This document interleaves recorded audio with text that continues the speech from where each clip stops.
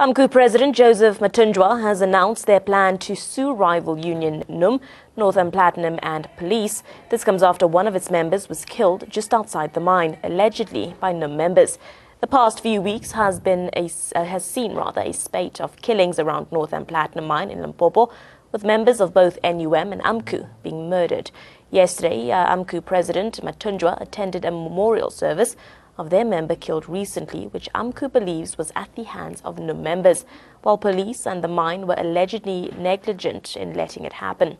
Mathunjwa says they have lodged lawsuit papers with the High Court regarding this matter.